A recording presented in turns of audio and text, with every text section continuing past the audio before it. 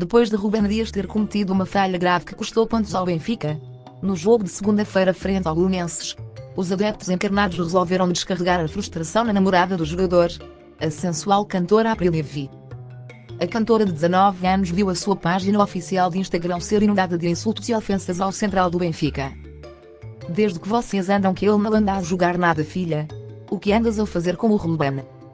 O teu namorado anda mal das pernas. Parabéns. Vais ter o título da rainha do estraga época do maior clube de Portugal. Clube que tu sempre odiaste. São alguns dos comentários que se pode ler.